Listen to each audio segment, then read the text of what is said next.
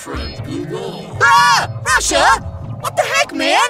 Don't sneak up. I come to you with a request. Need you to make people not able to find uh, certain things on the internet. VPN, social medias, you know. Totally normal stuff. Look, I know you don't like the West very much right now, but I can't just go do things with other countries. Oh no, I don't mean block in West. No, no, no.